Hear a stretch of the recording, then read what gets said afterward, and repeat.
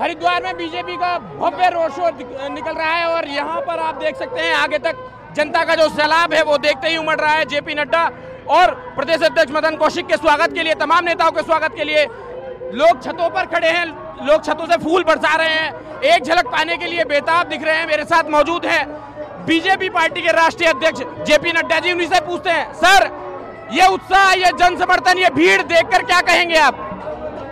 देखिए अभी चुनाव के माहौल की शुरुआत है। जो उत्साह मुझे दिख रहा है, मैं चाहूँगा कि आपका कैमरा इधर जरा जन सैलाब को दिखाए।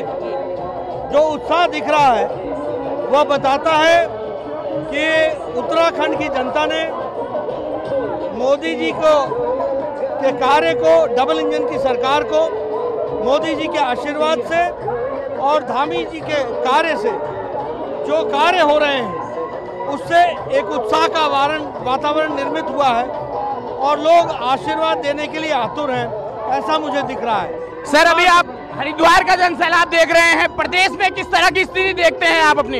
यही चीज़ सब प्रदेश के हर इलाके में दिख रही है।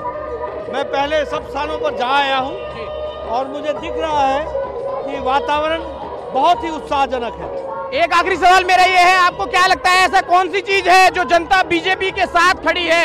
ये जन समर्थन बीजेपी के साथ खड़ा है, ऐसा क्या लगता है आपको? सबका साथ, सबका विकास, सबका प्रयास, सबका विश्वास।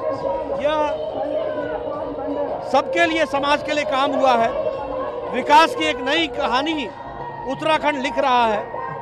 हर व्यक्ति के विकास में अपना योगदान है।